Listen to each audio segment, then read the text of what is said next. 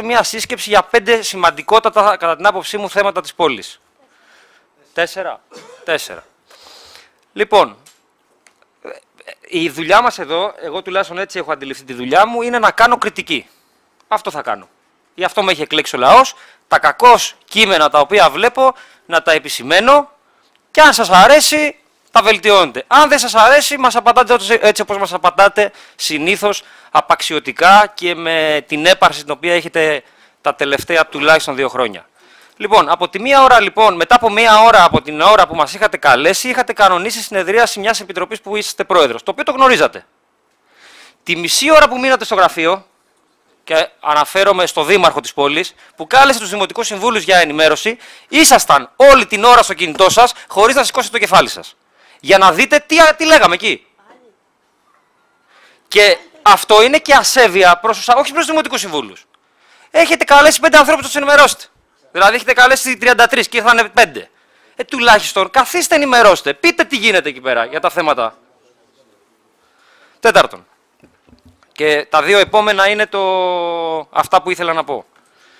Πότε μπορώ να έρθω και από ποιον να παραλάβω τον πλήρη φάκελο που υποβάλλατε για το, η χρηματοδότηση, για το ΕΣΠΑ, για το θέμα του ΙΟΛΑ. Ε, και αναφέρομαι σε όλα, στα τεχνικά δελτία, στα πάντα, ότι η οικονομοτεχνική μελέτη η οποία υπάρχει μέσα, όλα αυτά τα 25 έγγραφα τα οποία πρέπει να είναι και σε φυσικό φάκελο, θέλω σας παρακαλώ να μου πείτε από πότε και από ποιον μπορώ να τα παραλάβω από τη στιγμή που έχει υποβληθεί ο φάκελος. Και πέμπτον, φυσικά έχει να κάνει με το παγοδρόμιο, είναι ένα θέμα το οποίο έθιξα δημόσια, έθεσα δημόσια εχθές και θέλω υπεύθυνα να μας πείτε ποιος με ονοματεπώνυμο έδωσε την παράταση, με ποια διαδικασία και με δεδομένο ότι αποφασίσαμε ότι ο ιδιώτης θα καταβάλει 3.500 ευρώ στο Δήμο μέχρι 9 πρώτου, δηλαδή από τη μέρα που πάρθηκε απόφαση μέχρι 9 πρώτου, αυτό το επιπλέον ποσό το οποίο προκύπτει, οι 20 αυτές μέρες και το ρεύμα το οποίο καταναλώθηκε. Ποιος θα το πληρώσει;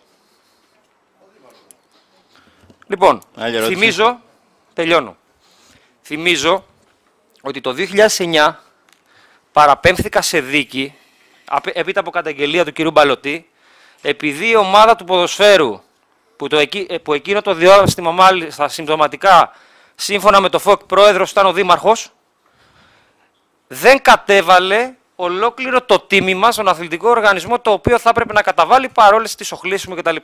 Παραπέμφθηκα από τους ελεγκτές δημόσιας διοίκησης σε δίκη. Αυτά απλά το λέω. Ο κύριος Τσιαμπάς.